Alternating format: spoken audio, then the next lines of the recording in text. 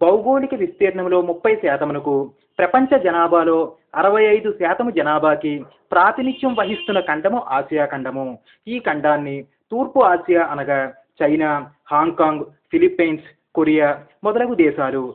దక్షిణ ఆసియా అనగా భారత్ దాని చుట్టూ ఉన్న దేశాలు.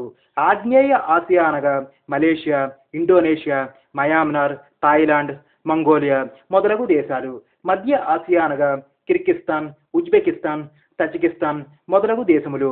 పశ్చిమ ఆసియా అనగా Iran Iraq Kuwait Saudi Arabia మొదలగు దేశాలు. ప్రపంచంలోనే ఎత్తైన ముడత పర్వతాలు హిమాలయాలు ఇక్కడ కలవు. భారత్లో బ్రహ్మపుత్ర సింధు నది గంగా నదులు కలవు. భారత్లో ప్రసిద్ధ ఎడారి థార్ ఎడారి. ప్రపంచంలోనే అతిపెద్ద ఉప్పునీటి సరస్సు కాస్పియన్ సరస్సు ఇక్కడ కలదు. యూరప్ ఆసియాను కలిపిన నిర్మాణాన్ని యురేషియా అందురు యూరప్ ఆసియాలను వేరు చేస్తున్న పర్వతాలను యూరల్ అందురు ఆగ్నేయ ఆసియా దేశాలను క్రాస్ రోడ్ ఆఫ్ కల్చర్ అని పిలుస్తారు. నేపాల్ను హిమాలయ పర్వతరాజ్యమని జోర్డాన్ దేశాన్ని ల్యాండ్ ఆఫ్ సెవెన్ హిల్స్ అని పిలుస్తారు.